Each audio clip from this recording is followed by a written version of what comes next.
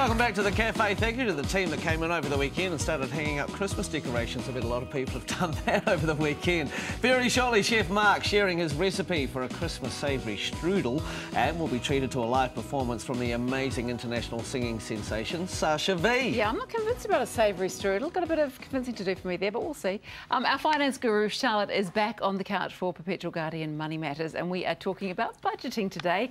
Good morning, Charlotte. Good morning. Uh, it is coming up to Christmas, so we're all bracing for the big spending that goes along with it. So how can we prepare for it? Well, one would like to have thought that you might have prepared for it a little bit before this week, which is oh, obviously so close to Christmas. yeah. But if you haven't, that's fine. Life is full of those sort of events. And, we, and uh, for those who haven't been doing a bit of budgeting, will probably be feeling a bit of pressure now. Well, define prepared for it. Well, well, so if uh, if money's tight, then you want to be very clear about how much you're going to need to spend over Christmas. So sh you should have done a little bit of preparation around how much cost you're going to need. Okay. Working out how many presents you need to buy and how much you want to spend per present.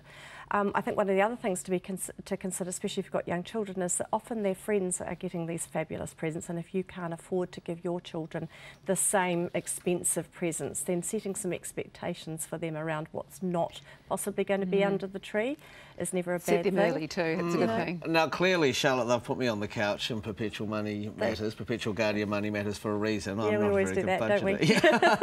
but no, uh, so I, I was thinking, how do you actually work out how much money to spend? Like, you know, is there a calculation you use? Well, so, I mean, everything's going to depend on your budget in terms of how much surplus you have in your cash flow. So the key thing to understand is I've got this many people, mm -hmm. um, I don't want to spend more than this on presents, and so that's going to divide 10 people by whatever and get mm. you get a, a, budget per present. And then really try and stick to that. It can be really easy if you're out and about and you go, oh, just get that for the little yeah. ones or just get that for mum. Buying presents ahead of time is, you know, often a good idea. And some families actually go, look, you know what, let's do Christmas on Boxing Day, mm. and then yeah. they do the Boxing Day sales. The Boxing Day sales, of course, aren't what they used to be. You know, it used to be a big thing in the old days, but now, of course, in the in more recent times, everything's on sale all, all well, the year Boxing round. Day sales they start like before Christmas anyway. I, um, I think the thing to do also is if you do those things, oh, I'm just going to buy that for such such earlier in the year. Remember that you've bought it for yeah. such and such, and you put yeah, it in the don't cupboard. Don't hide it too hard. yeah, because that has been done yeah, before. I've done that before. Uh, reviewing the budget. How often should we be reviewing it? So your budget for Christmas, I would recommend you review in about June, and then that way you're clear about where your planning is. I mean, for some people, obviously, it's not important; they don't need to worry about it. But for those of us that do, mm. it's always a good idea to have have a plan so you can be staging your money. Some people do Christmas clubs through um, various different things, including the supermarket, and putting some money aside.